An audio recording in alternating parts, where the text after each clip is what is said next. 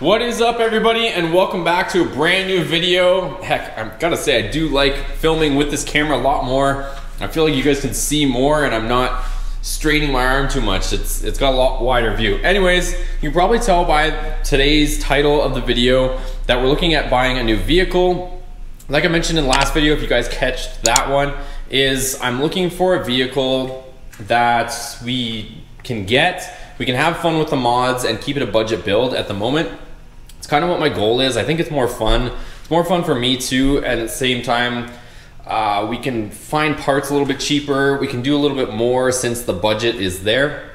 I did mention some other stuff too about uh, we're probably going to be um, getting into the Patreon stuff and, and you know talking to that talking about that stuff with you guys here shortly. But for now, I found a project truck. You guys probably seen it if you uh, follow me on Instagram or even on Facebook. You saw that I found a project truck I'm working out the details on it, but I do want to share with you guys what it is. We'll get your feedback. So at any point in this video, if I've said something, um, definitely leave a comment in the comments below. We'll see if we can get cracking on this project and uh, it's pretty cool. So let's get into the details of what the truck is. So it is a truck, we'll start off, and it is Mopar for those of the Mopar fans that are on this channel.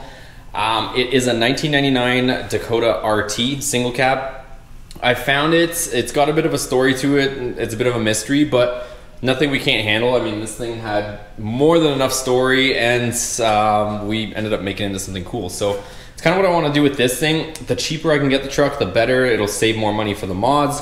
But if it's got a bit of a story, it doesn't matter. We can always make it into something greater and better. So that's going to be the plan. Anyways, it I think it has it has over 100,000 miles on it.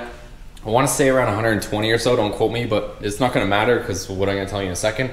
So it has around there, um, not low mileage, not super high mileage. It is a salvage title, so it's got that going against it. Um, but it's a cool color. I actually did have one of these trucks back in my teens. I had a 2000 Dakota V6, so didn't have any guts really, but it was a V6. It was the metallic blue color, but it was an extended cab. So I really enjoyed that truck actually as, as a teenager and it was a fun truck to own. But this one should be a lot better. So it's gonna have the 5.9 liter Magnum engine in it, which really doesn't make a whole lot of power. It's, it's pretty pathetic honestly for almost a six liter engine. I think it's somewhere in the neighborhood of like 240, 250 horsepower, like really low and maybe 400 foot pounds of torque. Don't quote me on those numbers exactly, but I, I looked at them and I just glanced at them and I wasn't really interested in them because the numbers sucked. So um, that's the story on the truck. It looks like it, it does have the RT wheels on it, but they look like it's got some big tires on it. So what we would do with the truck, we would get it, we would make it look good at first, get all that stuff. Um, you guys know how, how we would do it and you guys know the deal.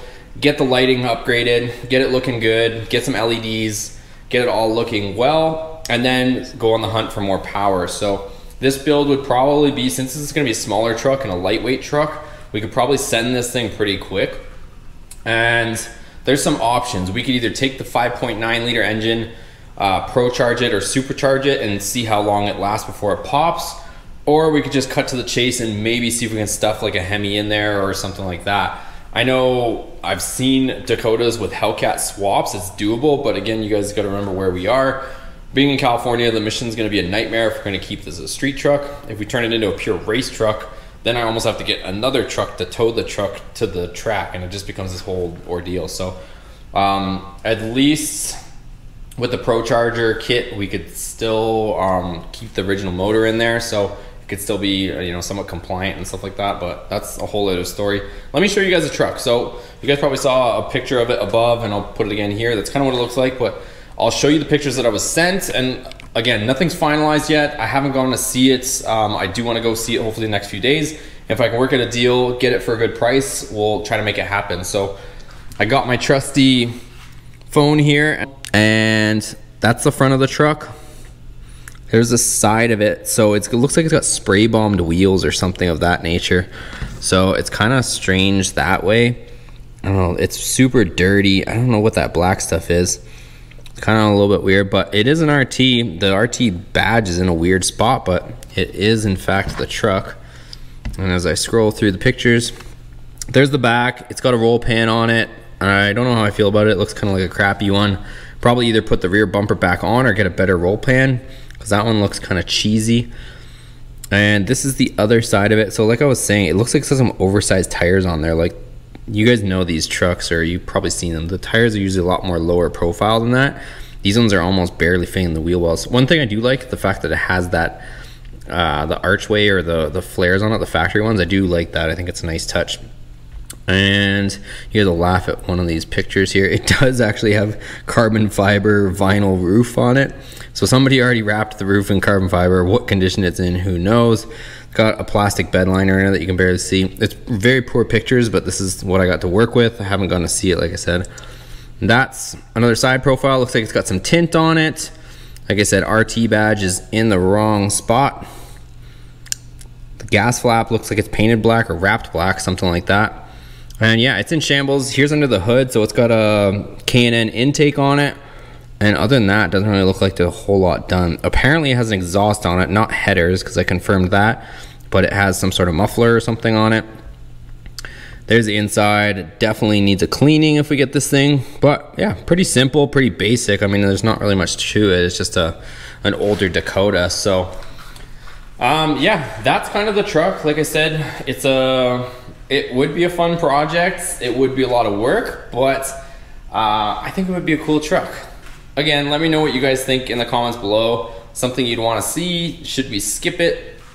Uh, I, see, here's the thing. So I could technically try to get my hands on a Hemi engine. There's some different stuff, and I've already kind of talked to Jay Green about it.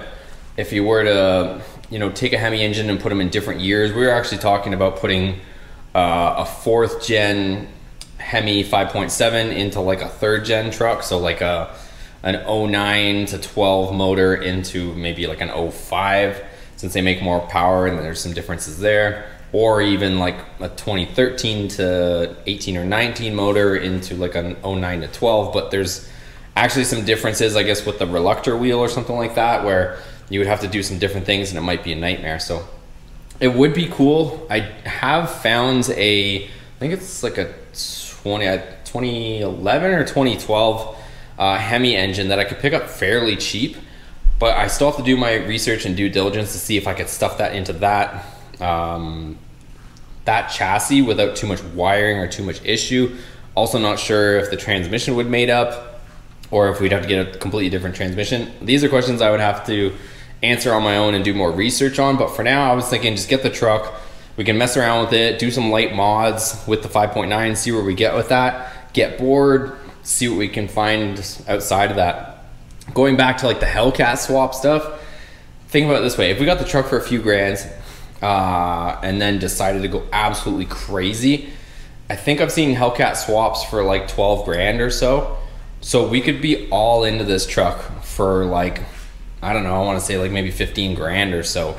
I think that would be insane. Like, I don't know if we could somehow, like I said, if we get this Patreon thing going and you guys are cool with it, if we got this thing cranked up and we had this truck with a Hellcat swap in it, and you guys know I'll take it to the drag strip. I did with the last truck. I've taken these cars to the to the drag not well I have taken actually the Viper to the drag strip but I've taken them to the racetrack and, and whatnot so you guys know I'll send it but if we can make that happen find like a Hellcat swap jam it in there turn it into a full race truck I don't know I mean the possibilities are endless but at least let me know if you guys want to see that truck on the channel and us mess with it I think it would be a cool project I just took a glance on eBay there's all sorts of like cool like headlight upgrades. There's cheesy ones, of course, but there's also some tasteful ones. So we get some newer headlights in there, probably some newer, nicer tail lights, all that good stuff. Try to bring that 99 Dakota up to like a 2018, 2019 standards with some LED stuffs. Try to freshen it up. The body on those trucks is kind of timeless, honestly. It looks pretty good, like the body lines on them. I think we could make it look pretty good. And then you guys know we'll probably put some sick wheels on it, all that good stuff. So definitely lower it as well. I think I mentioned that. But again, let me know what you guys think. It's like I said, I want to make this channel interactive with you guys.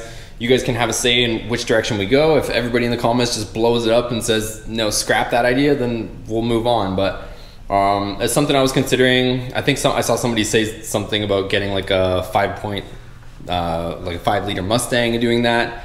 I've considered that also, but I wasn't sure which generation to go with. All sorts of deals on the table. I don't know. Let me know what you guys think.